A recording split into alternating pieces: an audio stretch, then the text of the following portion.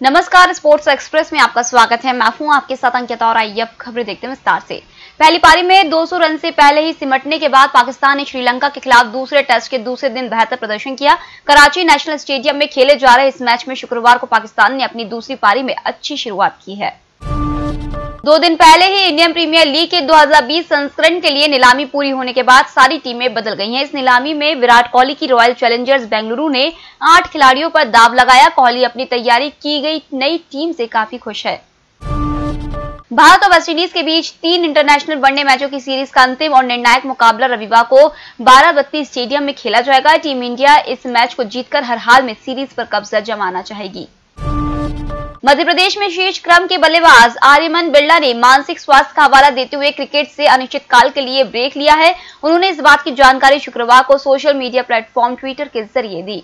फ़िलहाल इस बुलेटिन में इतना ही। आप बने रहिए ईएमएस टीवी के साथ। नमस्कार।